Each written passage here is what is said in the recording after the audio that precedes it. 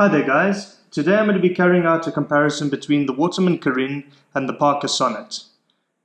These are two extremely good pens in that they both feature a full metal body and are finished with a very very nice lacquer finish. In the case of the Waterman Carene, it's finished in Obsession Blue with silver trim and the Parker Sonnet is finished with a pearlescent white lacquer with gold trim. Both of these pens take cartridges and at the moment both of them are fitted with cartridge converters. I'm just going to show you the converter for the Carene.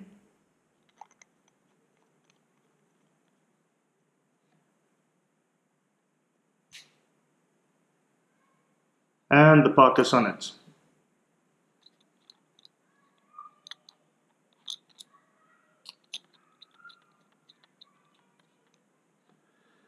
This is going to be a rather interesting comparison as both of these pens fall into the same price point and there are two very very different pens. Now let's compare the nibs of these two pens. What's immediately apparent from the onset is that these are two very very different nibs. When taking a close look at the nib on the Parker Sonnet, it becomes immediately apparent that the fork differs radically from that of the Carene. And this type of fork should give the nib a lot of flex when writing.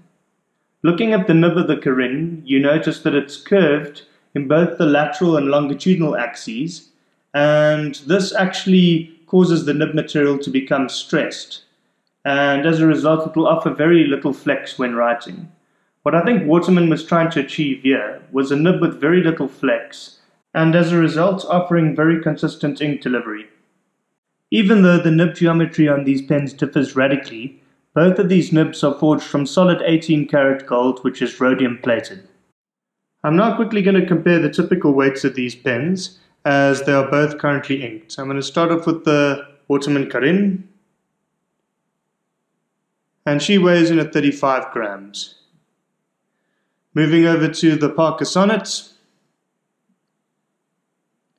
she weighs in at 27 grams. So let's compare these two pens. I'm going to start off with the sonnet. I'm going to quickly doodle across the page to show her ink delivery. And she delivers ink flawlessly. I'm going to do a zigzag. And also a flawless delivery of ink. Moving over to the Carene. I'm going to doodle with her as well showing yet again a flawless ink delivery, as well as a zigzag. And yet again, flawless ink delivery. Just going to drag the pen across the page quickly so that you can hear the sound the nib makes. Okay, I'm going to do the same with the sonnet. And one thing you'll notice is that the sonnet doesn't make as much of a noise. And I would say this could be attributed to the fact that the nib is flexing. The nib of the Carene is definitely a lot more stiff than that of the sonnet. I'm just going to do some horizontal and vertical lines with the just to demonstrate this ability.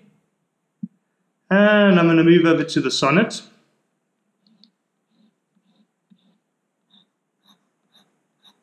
And yet again, you can see that both pens offer very similar performance in this perspective.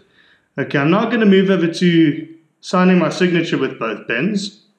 Firstly, the Carene. As you can see, flawless performance here. I'm going to move over to the Sonnet.